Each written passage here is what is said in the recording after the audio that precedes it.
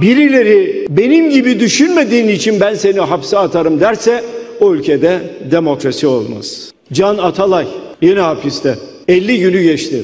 Nasıl bir dünyada, nasıl bir ülkede yaşadığımızı herhalde bundan daha güzel bir örnek göstermez. Gidiyorsunuz, başvuruyorsunuz. Yüksek Seçim Kurulu diyor ki, evet milletvekili aday olabilirsin. O da hakimler karar verdiğine göre gidip ben de başvurayım diyor. Halkın oylarıyla milletvekili seçiliyorsunuz ve milletvekili oluyorsunuz.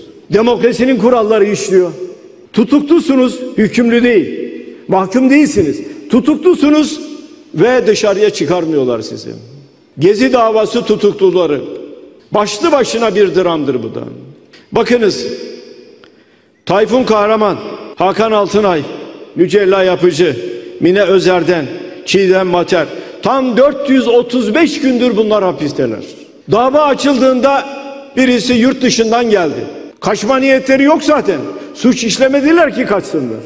Osman Kavala tam 2072 gündür özgürlüğünden mahkum edildi.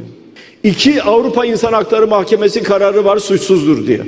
Türkiye'de iki ayrı mahkeme tahliye edilmesi için karar verdi.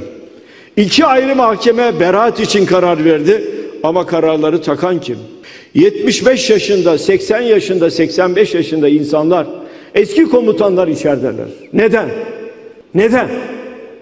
İnsanda biraz vicdan olur ya. Biraz ahlak olur ya. Adalet duygusu kırıntısı olur biraz. Haksızlık karşısında susan eğer dilsiz şeytansa haksızlıklar karşısında asla susmayacağız. Ve Merdan Yanardağ bir televizyoncu, bir gazeteci, bir yazar niçin içerdi? Hangi gerekçeyle içerdi?